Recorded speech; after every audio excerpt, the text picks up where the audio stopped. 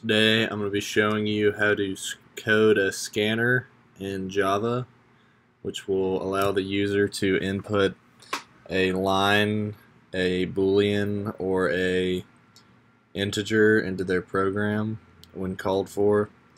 So at the top here we imported the utility scanner thing for Java which will allow us to actually um, create a scanner within our program.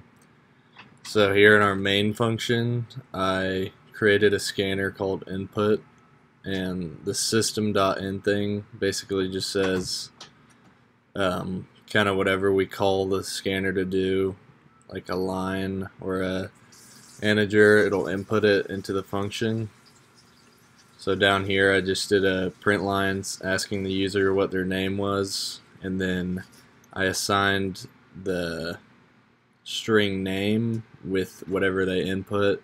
In this case, I did input.next line, which the scanner will just take the next line inputted by the uh, user. And then down here, it just outputs, uh, it says hello to the user by saying hello plus the string name, which we got from the scanner. So if we run this function in terminal, um, we see that it asks us for a name, put in Gavin, we'll say hello Gavin. Yeah, and that's pretty much scanners. You can use them for a lot of cases and they're really helpful.